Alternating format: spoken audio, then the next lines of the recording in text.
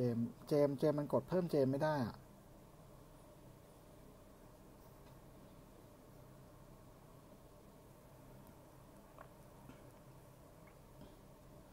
ด็อกเตอร์ผู้อย่างรู้เอ้เจมมันกดเพิ่มเจมไม่ได้เนี่ย แต่มันกดเพิ่มคนอื่นได้เนี่ย สวัสดีครับ สวัสดีครับ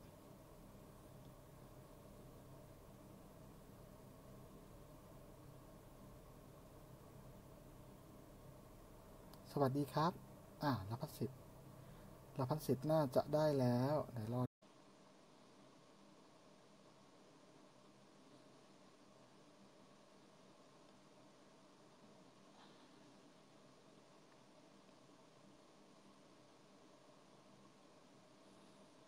เอ๊ะแล้วผมจะปักหมุดยังไงวะเจมส์เสียงเบาใช่ไหมครับเออเบาครับ ผมยังไม่ได้พูดเสียงดังฮะ เออ ปักหมุดยังไงวะเนี่ย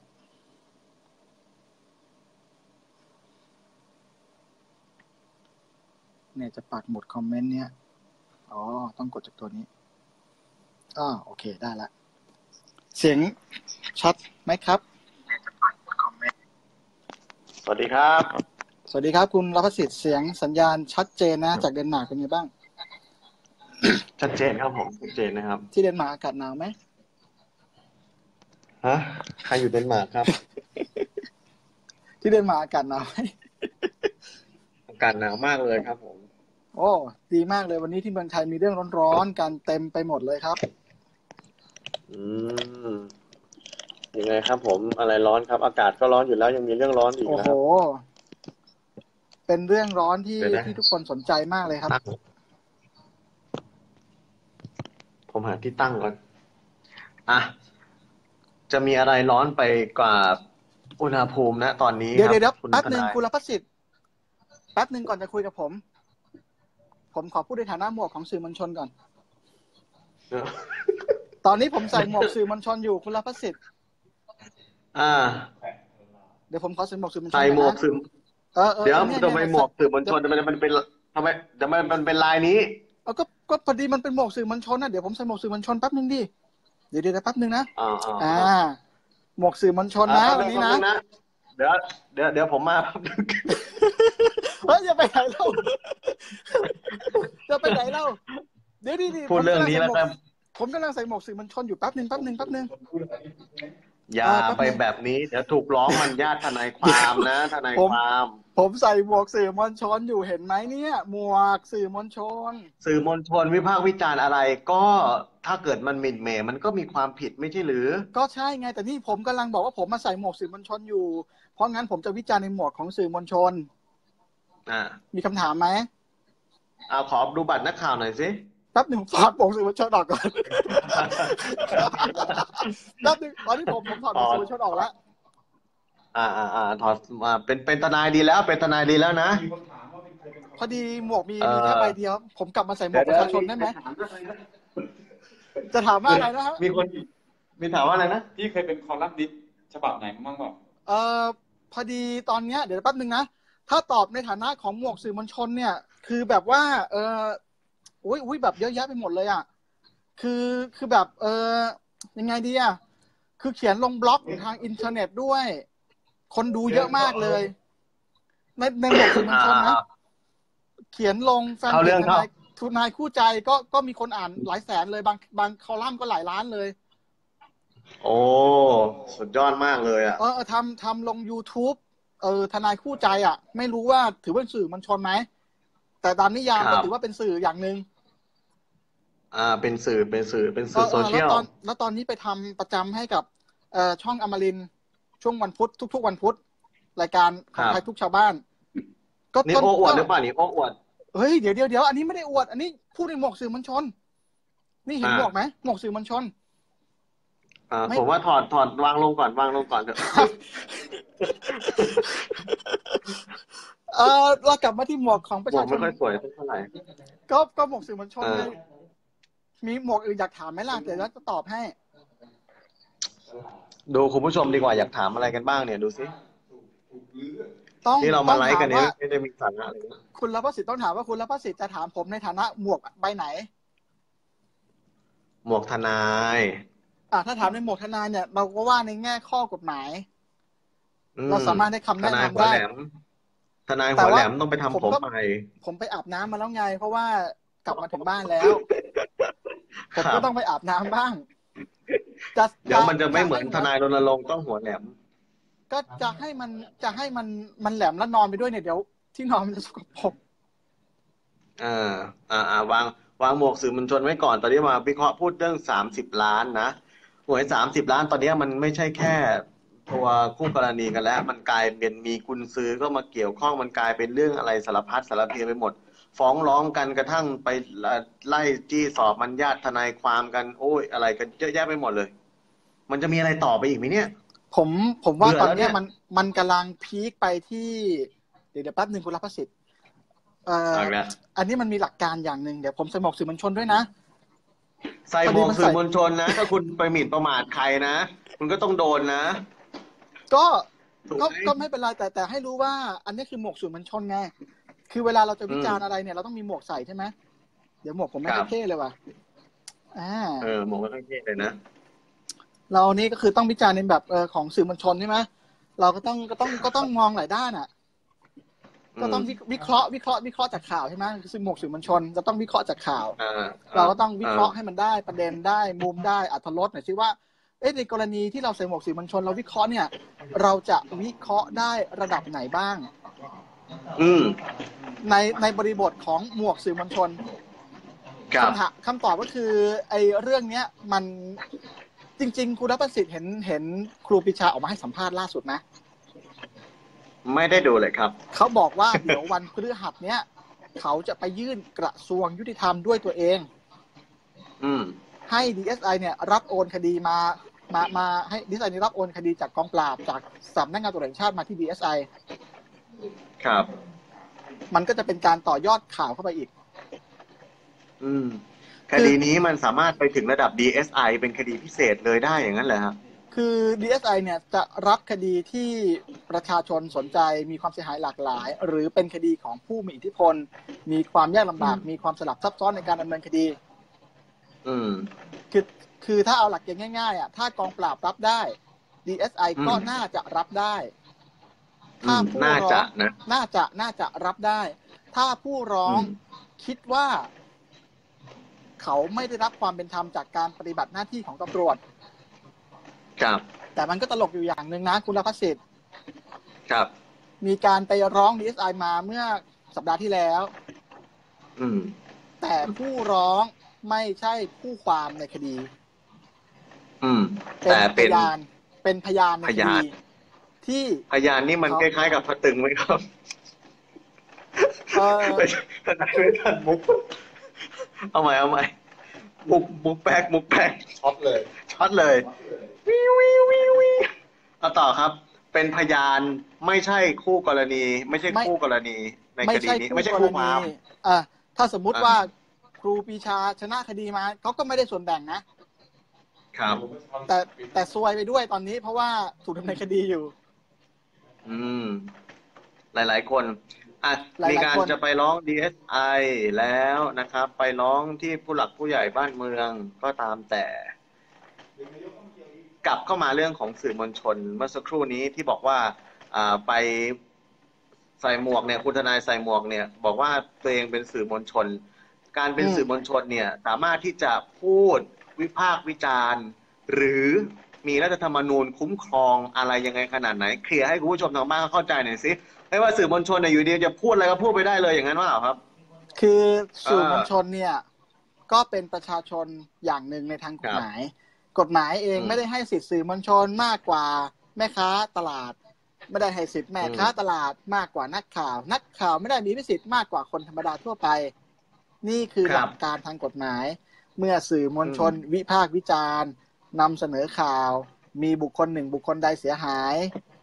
หรือเข้าข่ายกฎหมายเรื่องของหมิ่นประมาท หรือเขาคิดว่าน่าจะหมิ่นประมาท เขาก็มีสิทธิ์ยื่นฟ้อง หรือแจ้งความร้องทุกข์กล่าวโทษ กับอืมสอนอใกล้เป็นขั้นบ้านตอนอันนี้กาคือรสิทหมิ่ธิ์นประมาท ยังไงยังไงถือว่าเป็นการหมิ่นประมาทเนี่ย อธิบายให้ฟังเข้าใจชัดๆหน่อยคุณทนายพูดให้คนชี้อื่นชัดไปเสียเลยครับ พูดให้คนอื่นเสียหายด้วยข้อความอันเป็นเท็จ ต่อบุคคลครับที่สามครับ การพูดในรายการทีวีอะคุณใส่ใส่ใส่หหมมววกกตอนนี้คุณระพัฒสิทธิ์เป็นหมวกของเป็นประชาชน เป็นหมวกของประชาชน เออตอนนี้คุณระพัฒสิทธิ์มีไม่หมได้วกขเกี่อยงวปอะไรระชาเลยชนนะอืมมีมีมีหมวกลูกจ้างไหมมีมีหมวกจ้างก็มีเดี๋ยวผมขอเปลี่ยนหมวกก่อนขอขอมีหลายดูหมวกหมวกขอหมวกลูกจ้างหน่อยนี่อันนี้คือหมวกลูกจ้าง เออ มีหลายหมวก อ่าถอดอันนี้ออกอันนี้ไม่ใส่แล้วมีหมวกอะไรอีก หมดแล้วครับ มีแค่นี้แหละครับ ผมเตรียมมาแค่นี้ครับ มุกผมเตรียมแค่นี้ เดี๋ยวเดี๋ยวคุณระพัฒสิทธิ์ใส่ใส่หมวกคุยกับผมก่อนสิอ่าเอาใส่หมวก ผมใส่เอาหมวกในฐานะประชาชนคนหนึ่งที่เป็นประชาชนคนไทยอ่าที่อยากรู้กฎหมายว่าเฮ้ยการที่คนใดคนหนึ่งบอกว่าเป็นสื่อมวลชน หรือแม้กระทั่งเป็นสื่อมวลชนอยู่แล้วในปัจจุบันเนี่ย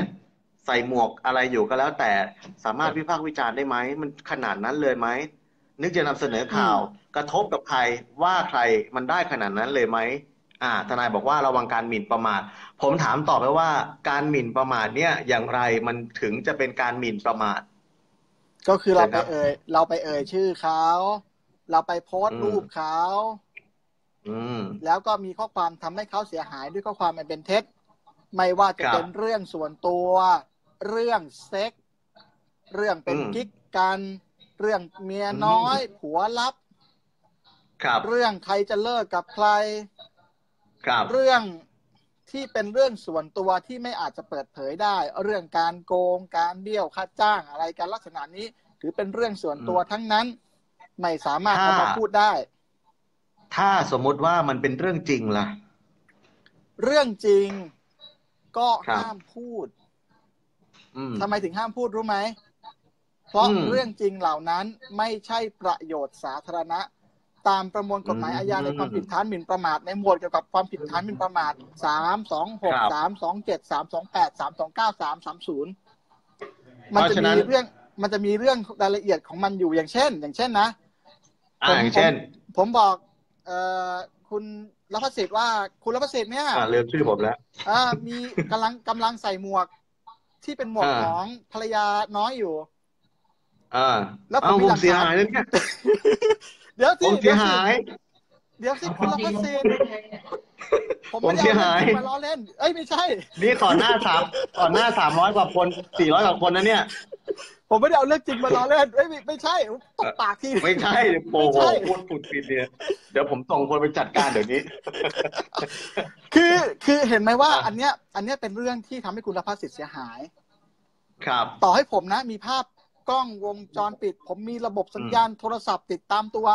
ผมมีวิดีโออมคอลผมมีครับไลน์ส่วนตัวไลน์ลับไลน์หลุดภาพหลุดคลิปหลุด อืมมียันตรวจค่า DNA อะ อ่าเอามาพูดเนี่ยผมเสียหาย ผมก็ไม่สามารถที่จะเอาไปอธิบายอย่างนี้ในศาลได้อ๋อเพราะว่ากฎหมายเขาบอกว่าถ้าเป็นเรื่องส่วนตัว ไม่ให้ยกข้อต่อสู้นี้ขึ้นมาเพื่อไม่ต้องรับโทษ ยกเว้นแต่เป็นประโยชน์สาธารณะ ขออนุญาตเบรกมาถึงตรงนี้ มีคุณผู้ชมเนี่ย ส่งเรื่องเข้ามาสดๆร้อนๆเลยนี่ แล้วเรื่องคุณโป๊ปล่ะ ท่านหมื่นท่านหมื่นคุณอ๋อโป๊เจ้าปคิท่าดนหว่ามื่น อ๋อเจ้าแป๊บคิดแป๊บว่าแป๊บเรื่องผมนี้ผมเป็นผมเยี่ยงถอไรดหมวกผมถอดหมวกของสื่อมวลชนก่อนอะถอดบ้างถอดบ้าง เอ่อยังไงนะคุณรัพสิทธิ์คำถามจากคุณผู้ชมอ๋อทางเจ้าบ้านคิดว่าอ๋อเจ้าคิดว่าเรื่องของโป๊ปที่เกิดขึ้นนะตอนนี้มีผู้หญิงออกมาภาพจริงหรือภาพปลอมก็ไม่รู้เนี่ยมาแฉว่าไปมีเพศสัมพันธ์กับเขาแล้วก็ไปมีกันไปเรื่อยๆเรื่อยๆเรื่อยๆลักษณะการกระทำเช่นนี้อ๋อเจ้าคิดว่าเป็นเช่นไรครับ เออผมก็บ้าแล้วเนี่ย ผมผมผมใส่ใส่หมวกก่อนตอบคำถามก่อนเดี๋ยวเขาจะว่าเราไม่มีหมวก อ่า อันนี้เป็นหมวกน่ารักหน่อยนะนี่หมวก นี่หมวกอะไรอีกหมวกอะอันไรนี้อีกครับเป็นเนี่ยอันนี้เป็นหมวกของของเอ่อชาวบ้านที่แบบชอบดูละครหลังข่าวตบกันตีกันนี่ชอบมากแซ่บมากเลย คือเราเลยต้องมาใส่หมวกอะไรอย่างนี้ไงแบบเดี๋ยวเขาไม่เข้าใจเดี๋ยวเขาหาว่าเราใส่หมวกนู่นนี่เดี๋ยวเขาไปร้องเรา เราเราอืมเราต้องใส่หมวก ใส่หมวกให้มันชัดเจน เออเอาเป็นว่าประชาชนผู้รู้กฎหมาย เออ เอาว่าเป็นว่าประชาชนก็พอมีความรู้แหละก็พอมีความรู้แหละ อืมอืมอืมคืออะสองทุ่มสามนาทีแล้วไปเร็ว คือในประเด็นเนี้ย เราเราครับจะเห็นว่ามันเป็นมันเป็นไปถามเรื่องบนเตียงใช่ไหมครับ มันเป็นเรื่องบนเตียงเพราะงั้นเนี่ยเมื่อมันเป็นเรื่องบนเตียงเนี่ยไม่สามารถเอามาพูดได้ ยิ่งจริงอืมยิ่งผิด ยิ่งจริงก็ยิ่งหมิ่นประมาทอ้าวเรื่องบนเตียงคือเรื่องอะไรยิ่งผิดยิ่งจริงสมมติยิ่งผิดเป็นเรื่อง คือคือคุณคือบางทีสังคมอาจจะเข้าใจไม่ตรงกันว่าเฮ้ยถ้าเป็นเรื่องจริงไปมีอะไรกันจริงก็น่าจะพูดได้ อันนี้ไม่ใช่นะนี่คือความเข้าใจที่ผิดผิดผิดเลย คือยิ่งเป็นเรื่องจริง ถ้าเป็นเรื่องส่วนตัวยิ่งห้ามเอาไปพูดเออเพราะอะไรรู้ไหมเขาครับเสียหายนี่ไงเสียหายไงครับ มีคนมีคนไปโพสต์แบบว่าคุณละพสิทธิ์เนี่ยที่ตอนนี้ถอดหมวกออกแล้วเนี่ย ครับมี มีเออเอางี้ดีกว่า มีคนเอาไลน์ลับมาบอกว่าคุณรพัฒสิทธิ์เนี่ยมานอนกับฉันแล้วคุณรพัฒสิทธิ์เสร็จฉันแล้วอืมฉันก็เอาไปโพสต์ในเพจสายดาร์กเต็มที่เลย จัดเต็มมากว่าลีลายังไง ทั้งทั้งที่ ทั้งทั้งที่เป็นเรื่องไม่จริง อืม หรือเรื่องจริงก็ไม่หรืมีใครเรื่องจริงรู้ ก็ไม่รู้ แต่คุณรพัฒเออสิทธิ์เสียหายแล้วเมียอ่ามาเห็นเนี่ยเสียหายกลับไปเสียตหายบเลย ตบเลย โอ้โหยิ่งกว่าตบอีกโอ้โหน่าจะได้นอนอยู่หน้าบ้าน อุ้ยทำไมสทำไมสบายจังอะ มีถุงนอนไหมทำไมอะอะ เอาเป็นว่าสรุปสรุปสรุปเรื่องการหมิ่นประมาท ไม่ว่าจะเป็นเรื่องจริง เรื่องไม่จริง ก็ผิด ผิดครับ ผิดผิด ไม่สามารถพูดได้เป็นการละเมิดสิทธิ์เขา คือเขาเสียหายอืมคืออะไรก็ตามที่เขาอย่างเสียนี้หายเนี่ยเราต้องเราต้องงดเว้น อย่างนี้ถ้าเกิดคุณแป๊บหนึงมื่แป๊บนนึงขอผงมผมผมถทุอดกหๆมควกนแป๊บนึงโอเคอ่าหมวกของชาวบ้านแล้ว อ่าชาวบ้าน อย่างนี้ถ้าเป็นคุณหมื่นของหลาย ๆ คนเนี่ยเอ้ยชื่ออะไรนะหมื่นชื่ออะไรนะ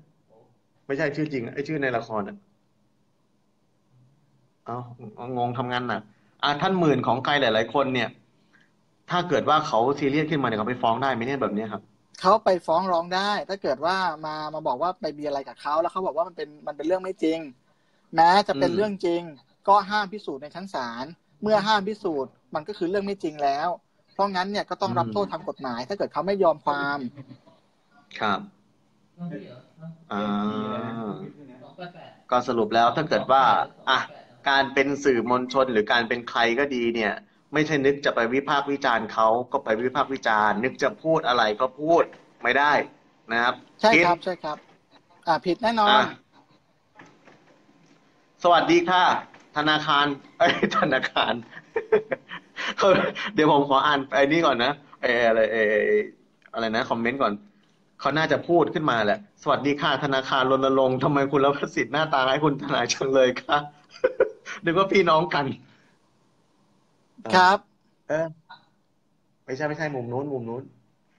ครับอะก็ก็ต่อก็เนี่ยก็เนี่ยแหละนะฮะ คือเนื่องจากว่าด้วยความที่มีหมวกหลายใบอื มมีหมวกหลายใบเราก็ เราก็พยายามพูดหลายรอบ หมวกหลายใบพูดหลายรอบ พูดซ้ำไปครับซ้ำมานะครับ อืม แต่อย่างหนึ่งผมผมเอ่อดูจากที่เป็นปรากฏเป็นข่าวตามหน้าหนังสือพิมพ์หน้า Facebook หน้าอะไรที่คนสนใจกันเรื่องหวยนะคุณรัประสิทธิ์ครับ เราก็จะพบว่าแม้แต่นายกยังเบื่อเลยนายกยังอ่าเบื่อเลย ว่าไม่มีข่าวอื่นเล่นนายกแล้วยัเหรองเบื่อใช่ ผมว่าทุกคน ผมว่าทุกคนณที่นี้ก็เบื่อนะครับ ผมว่าทุกคนณที่นี้ก็เบื่อ ไม่อยากฟังหรอก ไม่อยากฟังคำพูดของอีกฝ่ายหนึ่งฝ่ายใดก็ไม่รู้ที่จะพูดพูดเรื่องจริงหรือเรื่องไม่จริง แล้วก็ปัญหาที่มันบานปลายไปเรื่อยๆ ตอนนี้ก็กลายเป็นโอ้ใครก็ออกมาออกมาออกมาพูดกัน เออ ก็จบนี่แหละซะครับหวยสามสิบล้านดีไหมก็แบ่งกันใช่ไหมหรือยังไงนะ แบ่งกันไม่ได้สิก็ต้องไปพิสูจน์การในกระบวนการศาลยุติธรรม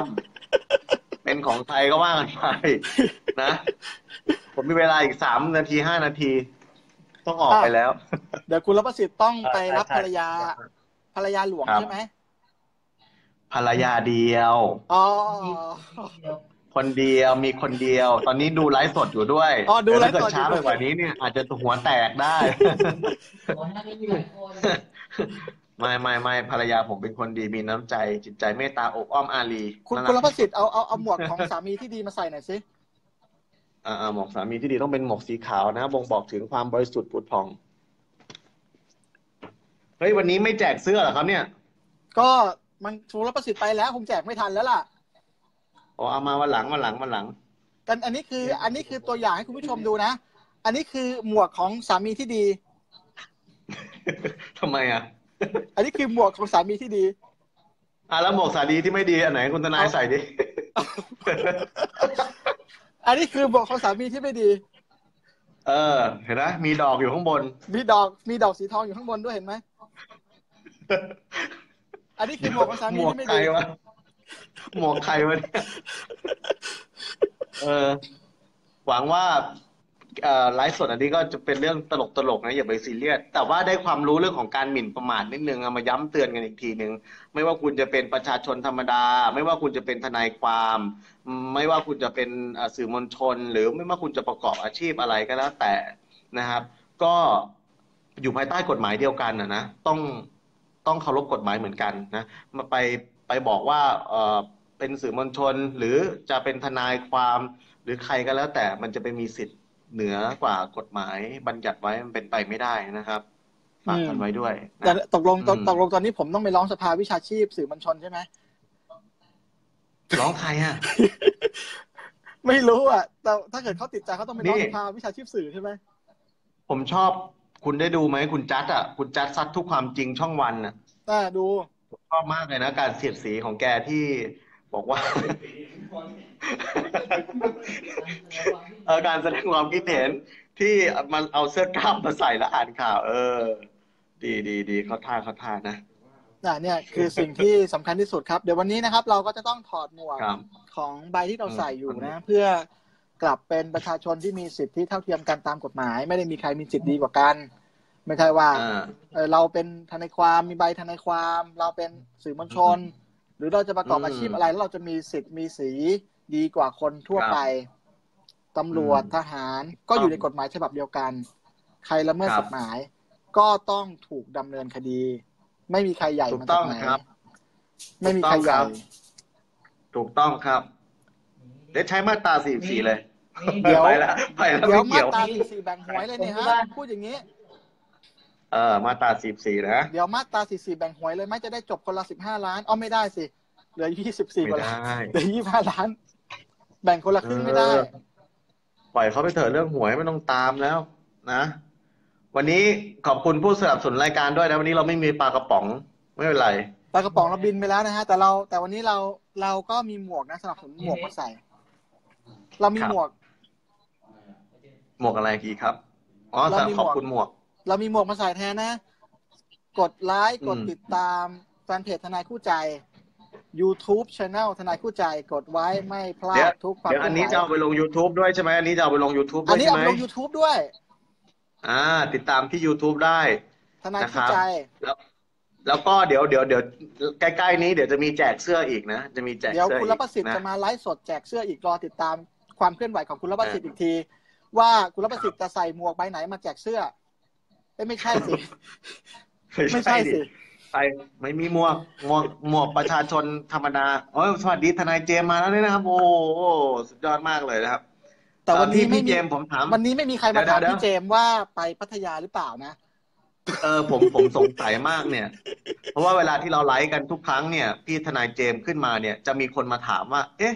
ทนายเจมส์ทำไมชอบไปพัทยาไปมีสำนักงานสาขาย่อยอยู่ที่นั่นหรืออย่างไง มีมีเออเออเออมีคนเขาถามมานะ อันนี้อันนี้เราก็เออไม่มีคนกล้าถาถามมทนายเจมส์จริงๆด้วยความเคารพครับอย่างสูงเลย ไม่กล้าถามจริงๆไม่ครับกล้าถามมากเลยอะแต่เราก็สงสัย แต่ใจหนึงเราก็ไม่กล้าถาม ว่าพัทยาเอมีออะไรไม่กล้าถามเออไม่กล้านะถามจริงๆพัทยามีอะไร ก็พัมีททะเลยาก็มีพัทยาเออก็มีพัทะเลไงก็มีทะเลไงเดี๋ยวจะพักหนึ่งได้โดนตบกระบาลแน่นอนเลยเราจะพูดต่อเนี่ยไปรวบ รวมกันครั้งหนึ่งนะเดี๋ยวเดี๋ยวเดี๋ยวอาจจะมีติ้งกันสักครั้งหนึ่งนะรวบรวมพี่ๆทนายเดี๋ยวอาจจะไปนั่งคุยกัน สถานที่ใดสถานที่หนึ่งพัทยาตรงไหนจุดใดจุดหนึ่งเอออาจจะไปพัทยาก็ได้ใช่ใช่เดี๋ยวไปพัทยาดีกว่าเดี๋ยวมีโดนทะตเลบสจนวยได้งาม เดี๋ยวโดนตบอ่าจนพี่ทได้นายเจมส์บอกมีทะเลสวยงาม เเอาแล้วนะครับค่ำคืนนี้ก็เดี๋ยวคุณนคภรับสิทธิ์จะต้องไปรับภรรยาสุดสวยคนเดียวคครันบนี้คคนรับนี้แล้วก็ตลอดไป เห็นไหมรักรักเมียกันทุกคน ทนายเจมส์พี่เจมส์ก็รักเมีย ทนายรณรงค์ก็รักเมียทุกคนใช่ไหมครับ เอครับอครับครับลากันไปแล้วครับฝากด้วย สวัสดีครับ สวัสดีครับ สวัสดีครับ สวัสดีครับ